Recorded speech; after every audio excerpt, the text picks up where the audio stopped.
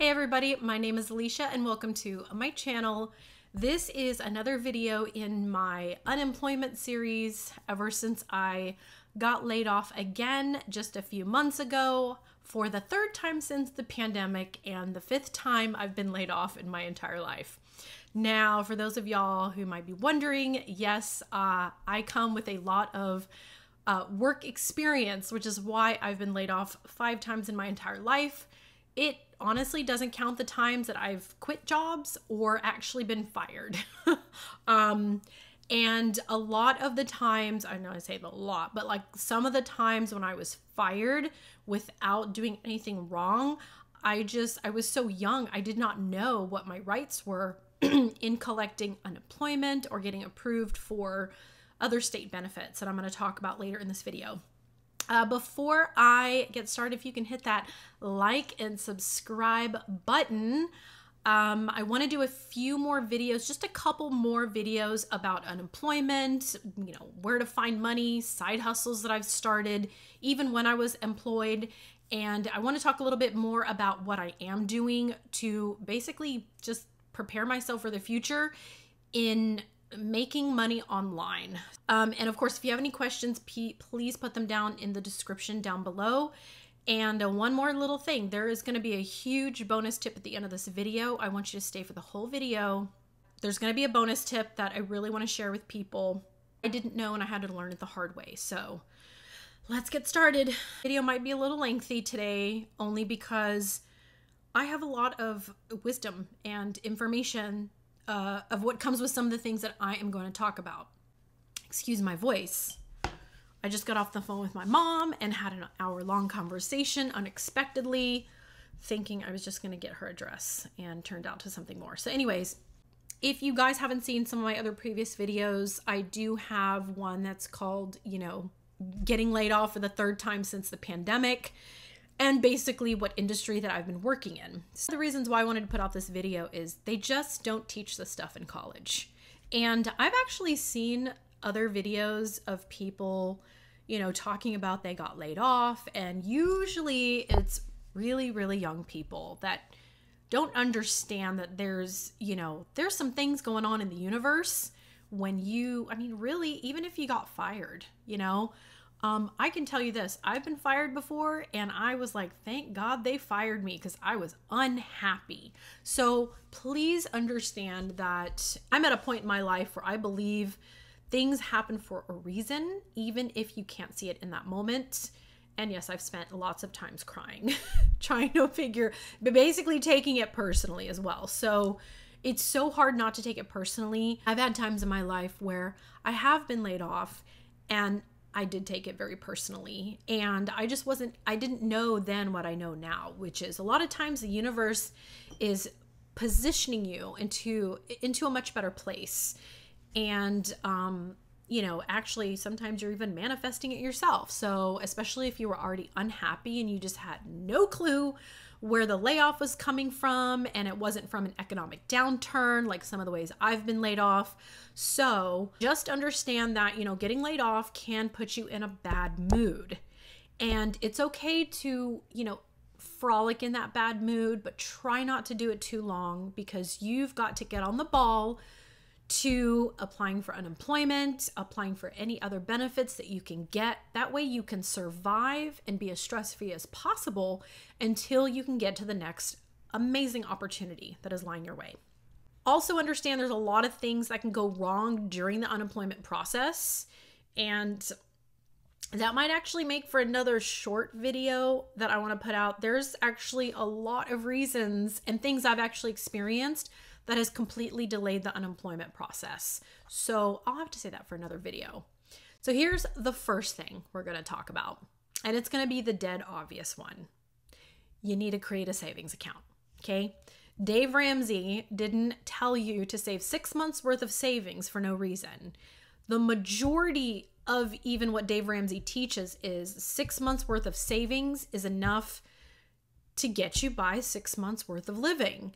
And in this case, there could be another pandemic in the future where you're waiting longer. You know, a lot of people didn't even get paid out from the pandemic. They, unfortunately, there were errors that were happening for them it's just inevitable when you have so many people going through the same process that there's going to be mistakes or that suddenly the state and the, or the federal government is going to have to come in and change even the process of what's going on and you need to be able to survive now um i wouldn't go as far as to say six months i mean if we're trying to say like well, for those of y'all that are employed and you have an opportunity right now to start preparing for God forbid, I hope you don't have to go through this, but let's just say you st- there's still layoffs that happened into 2023.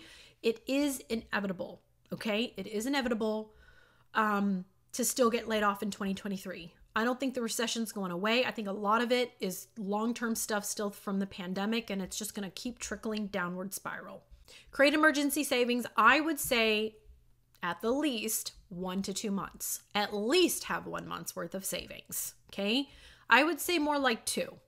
The reason why I say at least have one to two months worth of savings of living expenses, or God, okay, at the least your rent, okay, is because sometimes when you're, like I said, I could make a whole nother video about all the ways or all the things that can go wrong during the unemployment process.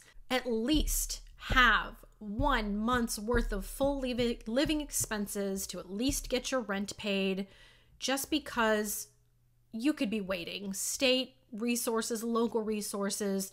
It is almost four months later, and I am still waiting on SNAP benefits, y'all. I have a dependent, so, and I've gotten it before during the pandemic.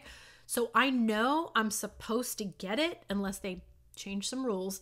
But I had to reapply for it because even though I've called and they have my application and they said, okay, we're going to expedite your application, I have yet to see anything on my login account that tells me that I have, you know, usually a letter that's been granted, that you get a certain amount of SNAP food benefits each month. So I would create an emergency savings. And, you know, let's just say you get a severance. Well, now you have a little bit of an emergency savings to even start a side hustle, which you know, we're going to talk about later. So, the second thing you need to do to prepare before you get laid off or fired is know your state and local public assistant resources. Let's go over a few things. If you're in Texas right now, I've been I'm born and raised in Texas. I've been living in Austin for 20 years. I'm in the capital. I've been laid off 5 times. I know I know this process.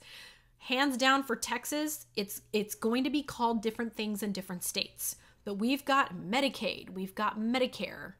Um, I've also been approved for the Texas Women's Health Program, which, at least for women, takes care of anything involved in your reproduction or your reproductive organs. Okay, I have gotten on birth control, I have gotten off birth control, meaning I've I've had the implant taken out on the Texas Women's Health Program. I've had my Pap smear. I've had all those things. It is covered by the Texas Women's Health Program, which is technically paid for through Medicaid, but it's just for that one thing. Also, there's SNAP food benefits, which AKA um, some people will call it food stamps. Now, SNAP food benefits can be a little different than actual food stamps. For example, with SNAP food benefits, sometimes you can actually spend your money on more than just actual food. Like it might allow you to spend on, you know, ibuprofen or children's Benadryl, you know, versus food stamps is literally just food. Okay, so just know your state and local resources. There should be a website for all of this that explains it all. You can even get on YouTube and start typing in your state and then put in food stamps or Medicare, Medicaid, or women's health program. Also, there's a local food bank. Every major city has a local food bank. God forbid if you are just so broke, okay? As far as I know, a long time ago, I don't know if it's ever changed, but you can go to, as far as I know, again, you should be able to go down to the local food bank, wait in line, get free food. Usually it's perishable items, bread, milk, or bread, canned items, um, dry goods with nobody asking you like what your income is or you know how much you're making from unemployment the local food bank is there to help everybody and you know yes you're going to see some homeless people there but i'm like i'm just saying y'all before you just go you've got a bunch of mouths to feed I would hands down go to local food bank. My mom even does it. She's like, "Why not? It's free food and it's it's not expired, y'all. This is donated food." You know how many times you've seen at the grocery store like give canned goods for Thanksgiving, family and you know, families in need for Thanksgiving. They won't take expired items. There's a liability behind that. So they shouldn't at least um yeah, it's it's local food bank is typically a nonprofit organization, but I'm pretty sure, you know, all those nonprofit orgs that they're doing to help other people, it's all it's all still regulated by the state in some form or fashion. Um just to keep themselves in check. There's also uh, in Texas there's TANF, which stands for Temporary Assistance for Needy Families. Now, TANF can help you with anything. It is literally giving you a temporary amount of money. Sometimes it could just be a one-time payment for a month. It could be, "Hey, we're going to give you, you know, 500 bucks a month for 3 months." Now, TANF is something that, you know, they're going to want to know your situation, every nook and cranny. I, uh, working at an apartment complex once, I actually had a married couple. They were married. One person had lost their job, the other one didn't have enough.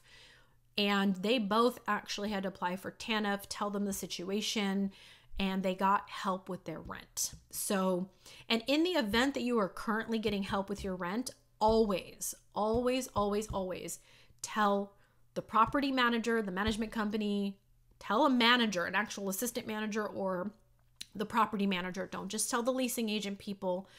Tell them, put it in writing, let them know that you are working on getting resources. Because a lot of times, if you tell them you're waiting on public assistance, sometimes they may actually not count your rent late. So, um, and then, of course, since the pandemic, a lot of states have implemented mortgage and rental assistant programs. Okay. Again, the quicker you tell people, hey, I don't think I can pay my rent, or I've only got this amount and I've applied for assistance, a lot of times they will wait. Okay. They won't charge you, they'll override a late fee.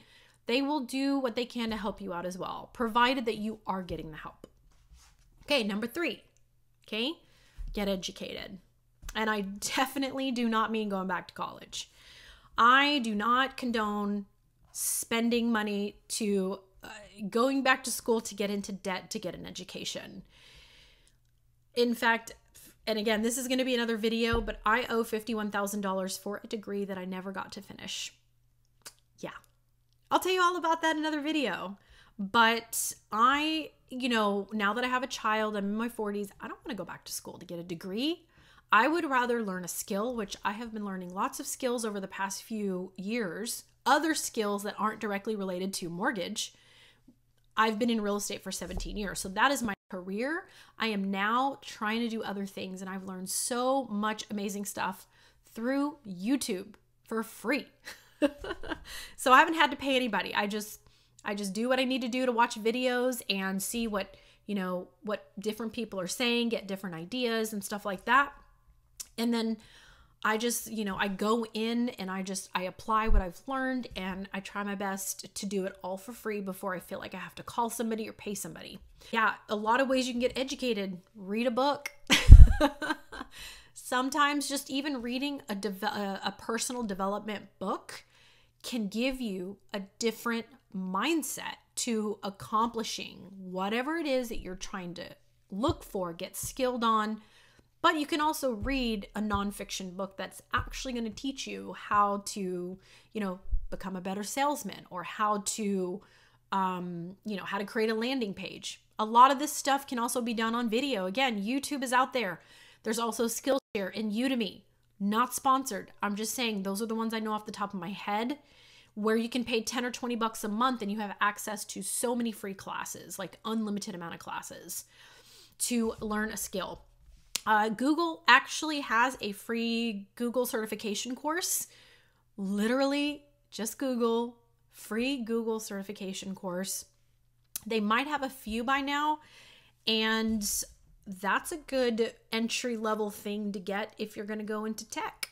And they do it all online. I started it once, but I didn't finish it because I wasn't, you know, I wasn't trying to apply for a tech job. I just wanted to know all the tech stuff and algorithm stuff and and that's part of what this course teaches you but it it's just a nice little introductory and if anything you apply for an entry level job and you're like yep i took the i took the google certification course because you get a certificate. So um again i've mentioned already watch youtube videos to learn something new uh, udemy and skillshare. You can also do things like go get licensed for something okay? I uh, even though it's expired i have my license as a real estate agent Texas real estate agent. So I let it expire. All I got to do is retake the test and I'm licensed again, but I've already gone through real estate school. And I've let my license go three, to- uh, three times now. So all I had to do was go retake the test. And um, it's only because recently I, I get I, 2019 was the last time I was a licensed agent. And I, you know, then the pandemic happened. Go figure. So I didn't maintain my continuing education every year, probably because I was in a state of depression with the entire world. And I just didn't think of it. So it ended up expiring. And I'm actually thinking about doing that next month. That way, when the market picks back up, I can already have taken my test and passed it. And if I need more time, then I'm just going to do that. So you can get licensed. I uh, also still have to pass my mortgage exam, which is the NMLS, the National Mortgage Licensing Service. Again, I've taken the courses, I've taken the test twice. These tests are hard, y'all. They're they're done by the same company that does your SATs, and I was not good at SATs. I was cheerleader Drill Team Senior Spirit Club. I was more like a C student with the amazing outgoing personality. I was not so much an academic. I'm much I was much more of a social person. You know, go become a mortgage loan originator or go pass your test so you have that other opportunity. Also, I've been a certified nurse aide. When I was a pre-nursing student, I went and spent I think two full-time weekends at the community college, paid a few hundred dollars, knocked out, you know, basically the whole certification uh, did my clinicals on a Sunday. You do it with you do it with everybody. It's a fast track. And that way, at least when I got a job, when I got a part time job when I was a full time student as a certified nurse aide, just watching elderly people in their home, for the most part, I hung out with them, chit chatted. But they loved, first of all, knowing that like I was on my way to becoming a nurse. So they, their client was was much more likely to enjoy or want to hire me because they still pick the certified nurse aide that's going to be with their loved one all day. But I also, in return, got to spend a lot of time studying. Okay, I didn't just sit on the couch watching TV with them all day. I was at the table, I was studying, but they were in my sight. And at least I got paid more per hour than someone who was not certified. So you know there's also phlebotomy like you can get uh certified like i think you certified person to just draw blood. Like there's all these little certifications you can get. There's also certifications in the tech industry. You know we've got general assembly here in austin texas for the tech world. And yes it is expensive and some of them are fast track schools but if there's a way for you to find some cheaper quick certification course you can either pay for that out of your savings or if you're on unemployment, you actually possibly can have the state pay for that certification course. If it's going to lead you to a job to get off of unemployment, unemployment actually, mo- again, most states probably have this, but they're always going to offer Pell Grant for you to go back to college. If you really feel like you want to go back to college or you want to finish college, do it. But I would not go into debt just to like, just because there's a recession and whatnot doesn't mean you should go back to school and that, you know, that's your only choice is to go back to college and take out more loans. I don't advise that you do that, okay? But somehow get educated, learn something new. You're on unemployment, you've got plenty of time. um, okay, so number four, start a side hustle. This one's my favorite when I lost my job twice in 2020, that was it for me. I was like, the the fire, proverbial fire, got lit under my butt. I'm a single mom. I'm still a single mom. You know, I've got a mouth to feed. I've got you know a one bedroom apartment still, and I have to look out for my future at this point. And even if I had a husband, like my husband could pass one day, you know, and I could suddenly be left a widow where I have to, you know, pay for everything myself. So even for those of you moms or even husbands that are, you know, living off a one household income, in my opinion, if someone, if some rich guy ever came around and said, Hey, you don't have to work, I'd be like, Thank you. And then I'd be starting my business. That's just how I am. Why? Because again, even if I'm married, something could happen to my husband. I could find out that he doesn't leave any money to me in my will when he passes, whatever it might be. And I need to know that I am still always working to support me and my child. Again, I wouldn't advise that you go into debt.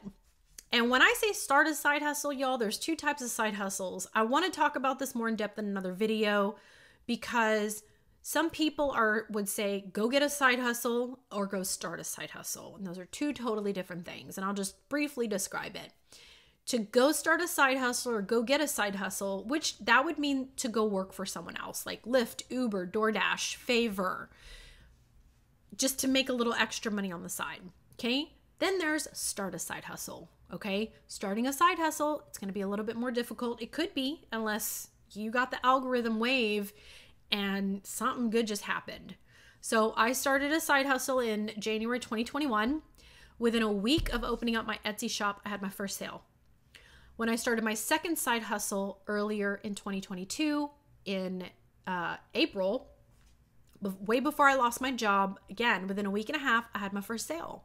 Now, I'm not making a ton of money, but even just to know you could list one product for sale today, and if it hits the algorithm right, you're going to get somebody's attention, and that attention is a sale.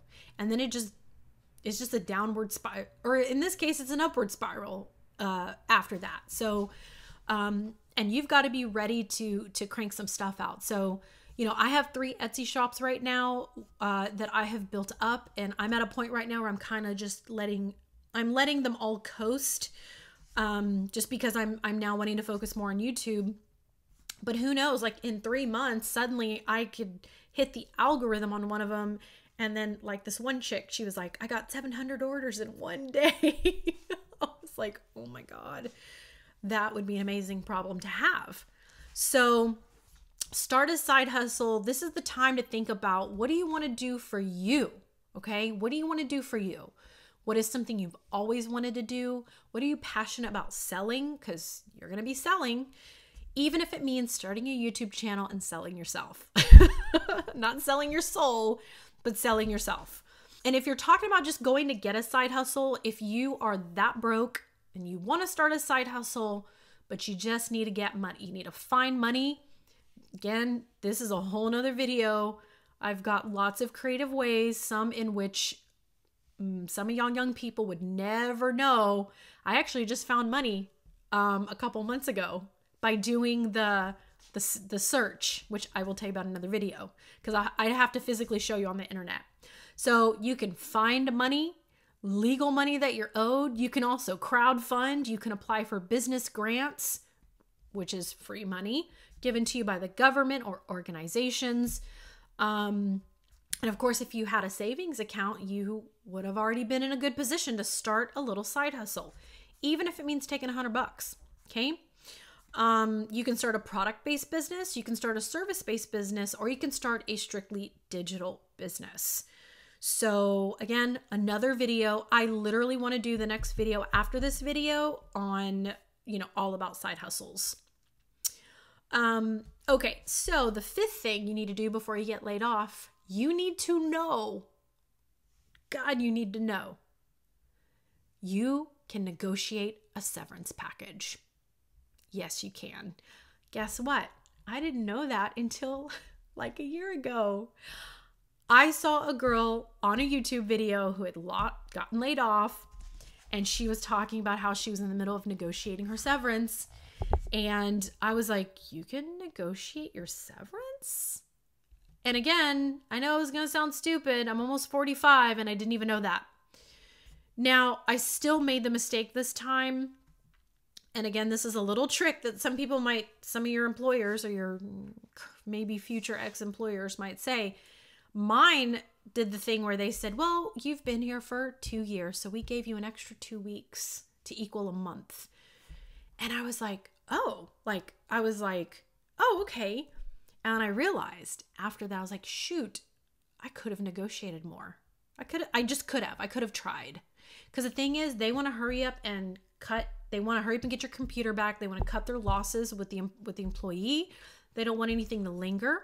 So when you negotiate, it's like the best position to have people in to negotiate. And also, by the way, most of your unemployment is actually paid it through from a fund in which that employer has put into every single month.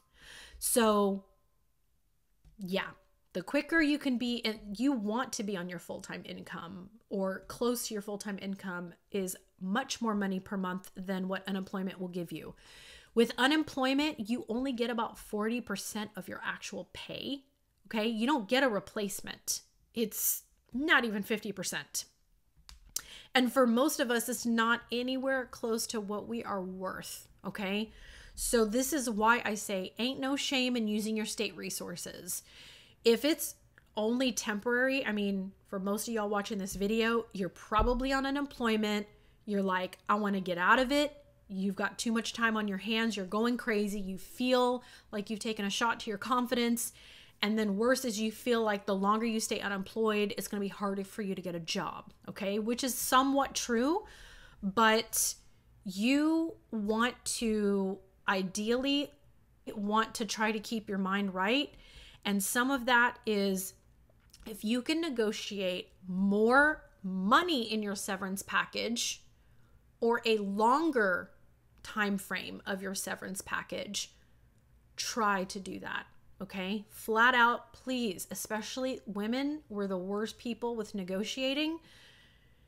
I'm in real estate and I still forgot when they threw the extra 2 weeks. It just it kind of it was I feel like it was a little bit of a mental trick and I didn't you know, it didn't make me think about wait a minute, no no no. I can I can negotiate more. Okay? So Know that you can negotiate a severance, even if they don't offer you a severance.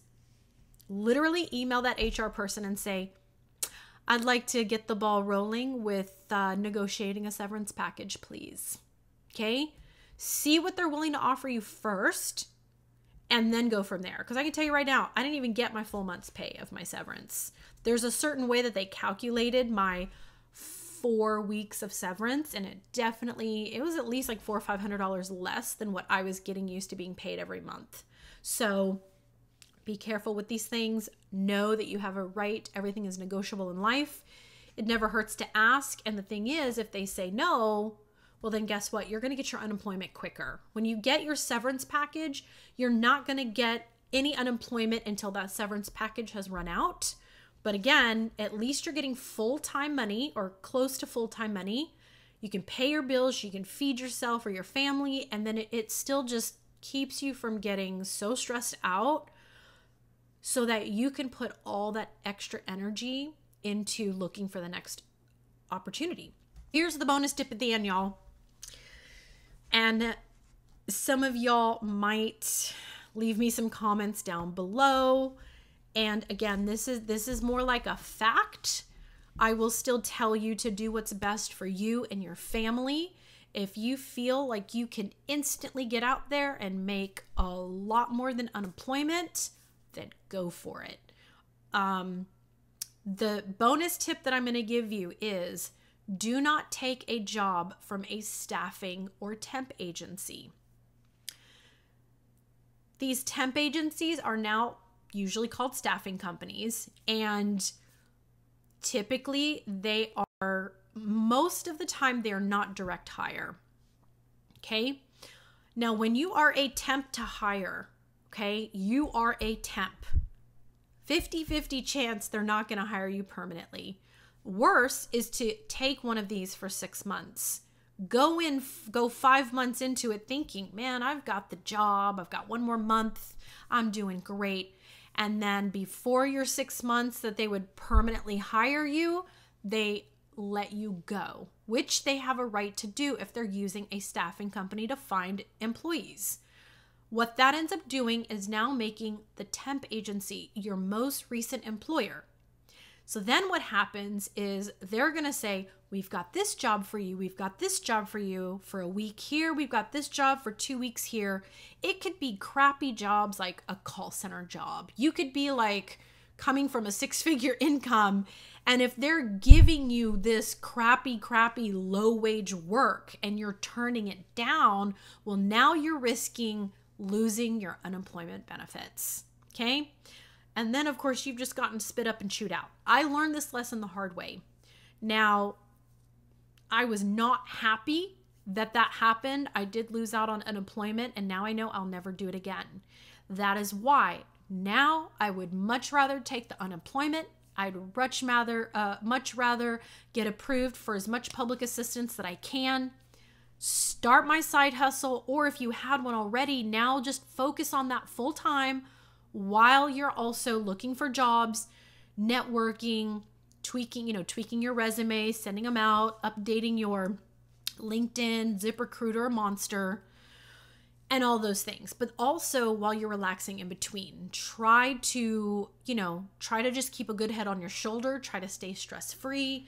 Try to get into a routine of working out. Maybe this is the time to also like declutter. I'm going through that right now declutter, maybe sell some things on eBay or Poshmark, some of your personal belongings. Um, and by the way, I'll talk about more in another video, but if you if you need to sell personal belongings on eBay or Poshmark, uh, uh, that's actually not considered income. Check with your state, but I found out just through Google that um, when you are just selling your own personal belongings and it's not a reselling job, you can actually just keep your own money. That's just basically paying yourself back for what you've spent. So if you feel like, oh my gosh, I need some cash, start selling some stuff, make that money. Um, but the moment you go work for somebody, you now have part time employment. So even if you thought, man, I'm to go side hustle and deliver some Domino's pizza, well, whatever money you made that week, you're to have to report that income. So Hope all that helped. If you have any questions, please put them down below. It might make for a great video. I would love to do a couple more videos after this one just because, you know, I know there's people still getting laid off. I recently just saw a video that Walmart is actually going to be raising their prices finally and and on top of that closing some stores and they've already just laid off like 8,000 people, maybe even more course, Amazon just laid off 10,000 people. So nobody is prone to it, okay? There's people who, I mean, even some of the people I worked with had worked for my old company for five years and they got laid off. So there is no recipe for who gets laid off and who doesn't.